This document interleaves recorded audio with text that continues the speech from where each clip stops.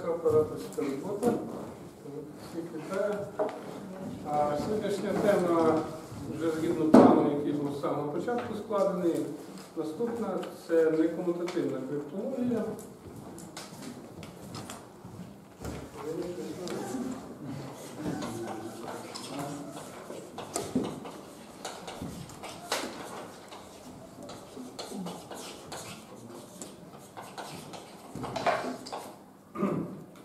Ну, звичайно, дуже гучно буде сказати, що ми оглянемо всю цю тему. Я розкажу принаймні про напрямок, в якому вона рухається, ця неквантитивна криптологія, чому вона так зветься, ну і які там є задачі. Відразу хочу підкреслити, що цей напрямок ну, перебуває, вже багато років перебуває в такому суто академічно-дослідницькому стані. Ну, з різних причин, я про них теж буду казати далі. Ну і, чесно кажучи, так і не зрозуміло, досі не зрозуміло, чи він дасть рано чи пізно якийсь, якийсь практично застосований криптографічний примітив. Потенціал надзвичайно великий, але ну, можливо тут діє той ефект, що дослідники в першу чергу звертають увагу на ті напрямки, які ну, більш реалістичні для застосування. Тобто ті, які вже зарекомендували себе як достатньо е, гарні е, джерела для побудови е, криптопримітивів для реального світу. А от оцей напрямок він вже кілька десятиліть фактично є, так пишуть дуже часто under construction. Ну, Тим не менше він існує, він перспективний, про нього знати варто.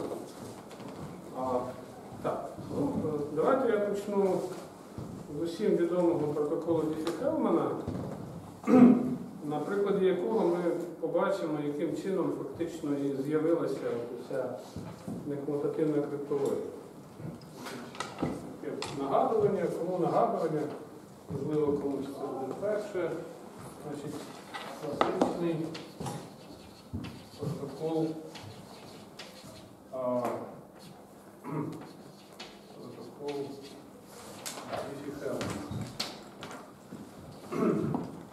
Значить, я нагадаю задачу, яку цей протокол вирішує. Задача полягає в тому, що є дві сторони.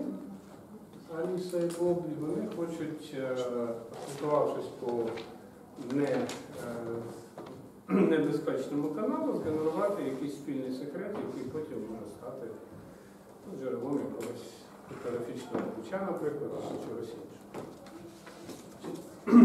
Е, всі такі протоколи, власне, ми сьогодні будемо обговорювати, як правило, тільки, ну, тільки протоколи обміну ключами.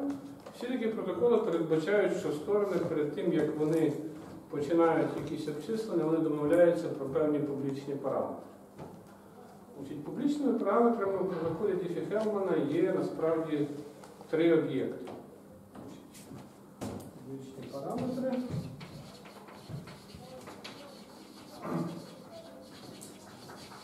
Скорочено давайте їх будемо позначати. Тут три об'єкти. Значить, перший об'єкт це а, циклічна група Z. Циклічна група Z. Циклічна група Z. Другий параметр це порядок цієї групи. Порядок вже. Ну, як правило, це просте число P. Просте число P. І нарешті останній параметр це твірний елемент групи G. G маленьке це твірний елемент нашої групи G. А насправді сама група G навіть не так важлива, а важливий цей елемент і його порядок. Так? По суті, якщо ми знаємо цей елемент маленький, маленький і його порядок, то в якості групи G ми вже можемо взяти е, просто підгрупу, породжену цим G маленьким. Так, на нас вже велике цікавить просто якийсь загальний опис всього, що можна отримати з маленьким. Це публічні параметри, так, фактично вкрай маленький журнал. Тепер, як виглядає сам протокол? Значить, у нас, е, нагадаю, є дві сторони. Е,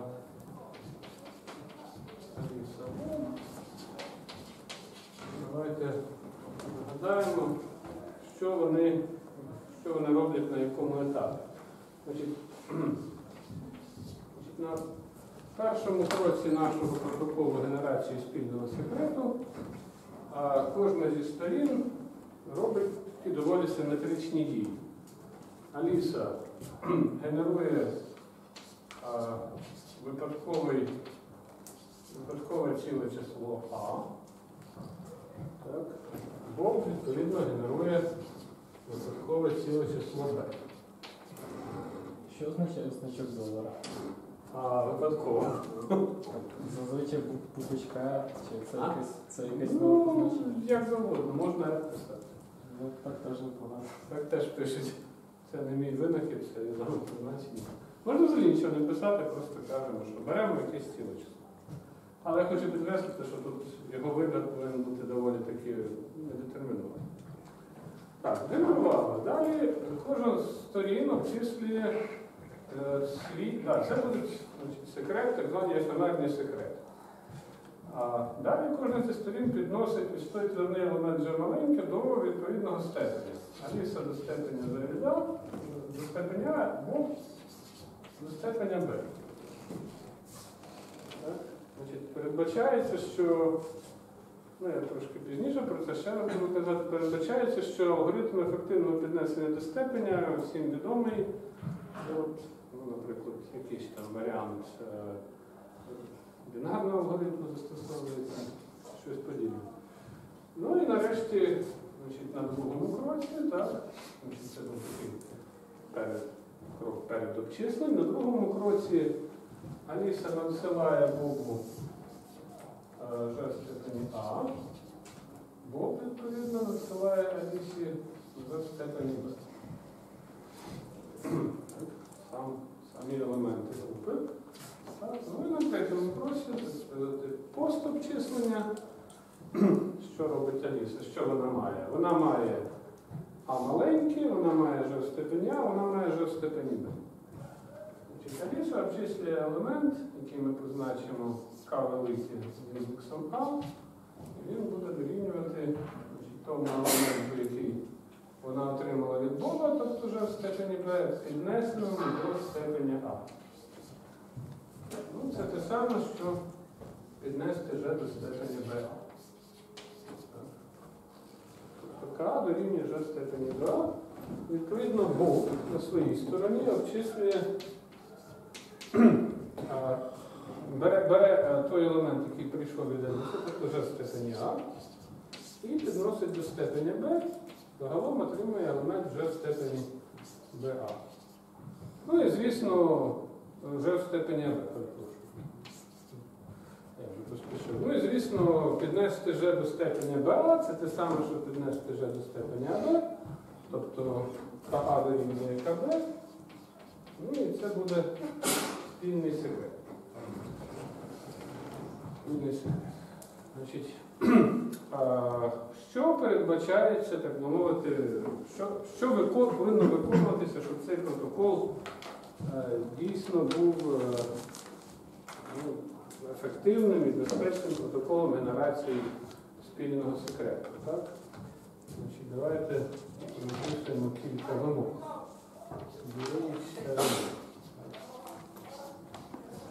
Вимога один. А, значить, перше, ну, так мовити, я ці вимоги буду перераховувати фактично в порядку надходження, так як ми от описували всі дані, тобто спочатку фізичні параметри, потім якісь обчислення. Значить, саме перше це те, що ми повинні мати е, конструктивний спосіб задання елементів групи G. Значить, група та її елементи мають описуватись, описуватись конструктивно.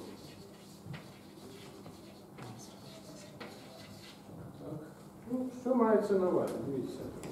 Оскільки робота з цими елементами е, на стороні Боби, на стороні Аліси полягає в тому, що ми постійно повинні будемо обчислювати якісь степені, нам ну, потрібно ці елементи якимось чином ну, там, подавати на вхід певним функціям е, тієї чи іншої мови програмування. Інакше кажучи, що зовсім примітивно сказати, комп'ютер повинен здатний, бути здатним обробляти нашу групу G. Тобто елементи групи G це не повинні бути якісь там ефемерні об'єкти, вони повинні бути задані конкретними структурами конкретної мови програмування. Наприклад, це можуть бути цілі числа. У випадку, якщо ми беремо в якості групи G, а групи G лишки по якомусь модулю.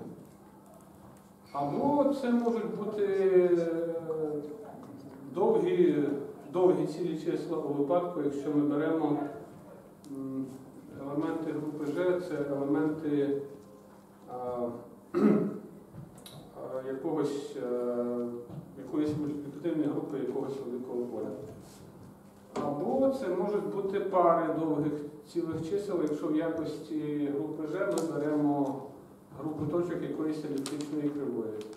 Ну, тут вже є варіанти, можна е, елементи цієї групи точок представляти в афінному проективному вигляді, або в афінному стисненому, нестисненому. Отже, всі ці умови вони завжди виконуються в тих випадках, в тих прикладах, з якими ми знайомі. Тобто в класичних алгоритмах, де працює діфікелман, для класичних груп, для типових груп, лишків груп чи груп, е, груп груп полів чи груп точок електричних кривих, всі елементи групи завжди задані до структури. Далі, другий момент. Друга вимога. А, Значить, ну, ця вимога, повторюю, пов'язана з тим, щоб просто можна було якось зберігати ці елементи, якось з ними працювати засобами мови програмування. Друге, а, а, повинен існувати, повинен існувати ефективний алгоритм, ефективний алгоритм обчислення а, степенів елементів елементів у G. А, ну, насправді ці дві умови дуже пов'язані між собою. Ну, по-хорошому, цей алгоритм, цей ефективний алгоритм буде існувати, як тільки ми будемо мати ефективний алгоритм обчислення доступу елементів у групі G. Я хочу підкреслити, що перш, з першої вимоги, ну, з виконання першої вимоги не випливає виконання другої. Насправді ми можемо ефективно задавати елементи групи, але це не означає, що ми можемо ефективно е, множити ці елементи. Тобто правило множення може бути ну, доволі дивним. Так? Ну, дивним в тому плані, що алгоритм, який його реалізує, буде мати якусь там, ну хай поліміальну складність, але високого степеня. І це вже для практики неприйнятно. Як тільки ми маємо ефективний алгоритм множення, то піднесення до степеня ми можемо реалізувати з допомогою бінарного методу, ну і, звичайно, з використанням цього алгоритму множення. Ну, хочу знову довести приклад еліптичної криптографії, де насправді фактично вся ефективність впирається в ефективність обчислення суми точок на кривій. І там якраз основні, так мовити, покращення ефективності. Саме туди націлені всякі різні способи задання кривих, е, всілякі методи представлення елементів групи точок еліптичної кривої, позбавлення там, від обчислення в полі, якщо це можливо, ну і так далі, тому подібне. Тобто для виконання цієї умови якраз націлено дуже багато досліджень і покращень. І патентів, речі. Значить, оці дві умови вони фактично призначені для того, щоб наш протокол був те, що називають в криптології ефективним. Тобто ніякий криптографічний примітив ніколи не буде практично застосованим, якщо сторони, які повинні виконувати ті чи інші кроки, вони будуть користуватися неефективним алгоритмом. Ну, тоді просто знайдеться реально дешевший спосіб захистити дані, ніж використовувати цей протокол. Для того, якщо для того, щоб генерувати ключ, е, потрібно для зашифровування там, я не знаю, 10 кілобайт даних, ви повинні затратити там, якийсь гігават енергії, то можливо краще цю енергію потратити на те, щоб наняти кур'єра і передати ці дані якимось іншим способом. Ну, все треба, все треба. От. І третя вимога, насправді найбільш відома, вимога, яка пов'язана з безпекою. От, я її назву DHF3. Так, а, ну і коротко сформулюю, в чому ця вимога полягає, а саме задача м, CDH для групи G, для групи G і її твірного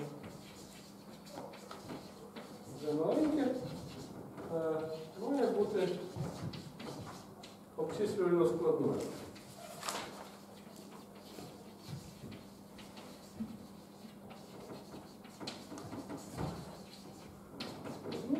Тобто е, не повинно існувати. Не повинно існувати.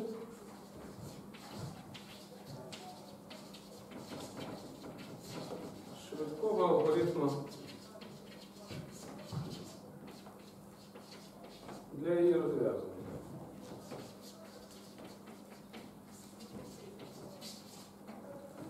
А, Ну, що таке задача CDA? Це так звана обчислювана задача Фелмана. А,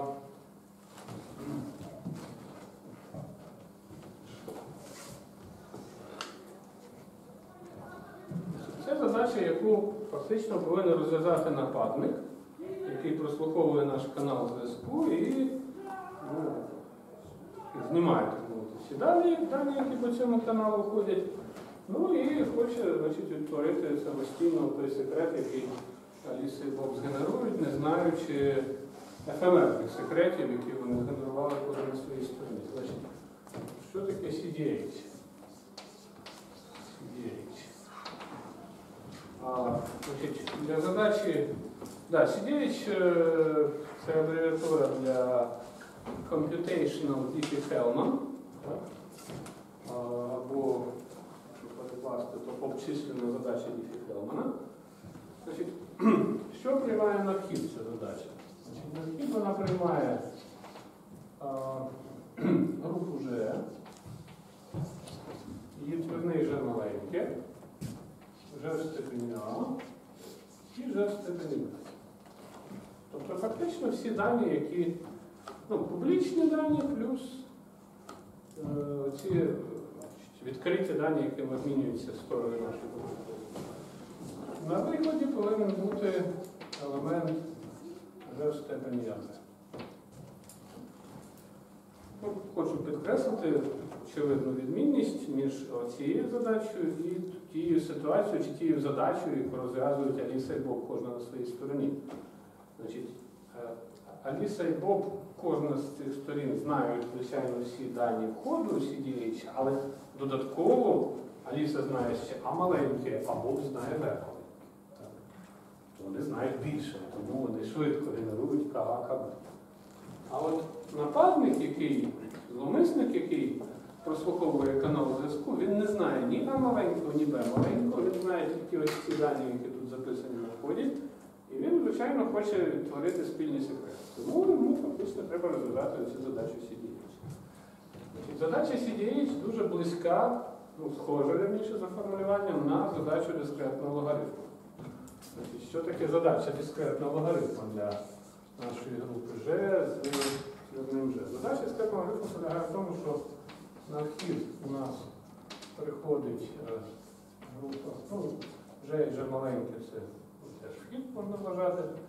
Ну і якісь там вже степеня. І на вихід ми хочемо дізнатися власне цей амал. Е, ну, очевидно, що якщо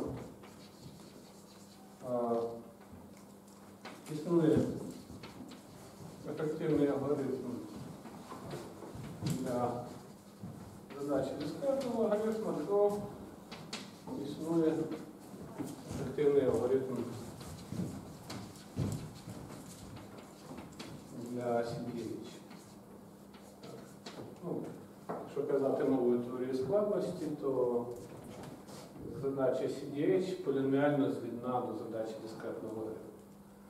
Ну як вона звідна? Ну, припустимо, що наш зловмисник вміє розв'язувати задачу дискретного логарифму, і йому треба розв'язати задачу CDH. Ну, він тоді бере, наприклад, вже степеня, розв'язує для нього дискретний логарифм, отримує А маленьке, опиняється в ситуації Аліси, ну а далі діє так, як Аліса. Е, насправді невідомо, чи правильно навпаки, тобто чи зводиться поліноміально а, дискретна задача дискретного логарифму до задачі CDH. Так? В деяких групах це справді так, зводиться одна до іншої, але загалом про це невідомо.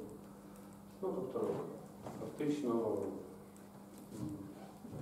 хоч і дуже часто кажуть про дискретний логарифм, ну, як правило, кажуть, що там стільки що базується на задачі дискретного логарифму, але по-справжньому, якщо казати максимально коректно, то е, все базується на задачі CDH. Потенційно може трапитись ситуація, коли е, будуть користуватися топологічним примітивом, для якого дискретний логарифм не буде зв'язуватися ефективно, але е, CDH впаде під якоюсь атакою. Ну, проте такого прикладу ще досі немає. Але може. Скільки не доведено проти От. А, ну, чому я про це так довго розповідаю? Насправді, е, давайте помітимо, що в основі всіх цих міркувань і протоколу самого, і вимог до протоколу лежить один єдиний скромний об'єкт. Це група G, породжена елементом G0. Це група циклічна, ну і, зокрема, або. Або чи комутативна. А комутативні групи це ну, з точки зору будови, з точки зору теорії груп, це найпростіші, найпростіші об'єкти, які є в теорії груп. От. І з точки зору перегляду груповиків, те, що от саме циклічні групи завоювали таку величезну популярність в криптології, фактично на їх основі ну, існує сучасна е, сучасні математичні основи інформації. Це ну, певний е, навіть парадокс, а е, ну, так, щоб не образити ці групи. Е, Ну, трошки дивно. Трошки дивно, оскільки теорія груп надзвичайно багата іншими групами, іншими об'єктами, які е, з точки зору властивостей, будови і всього іншого значно цікавіші, складніші, ну, багатші властивості.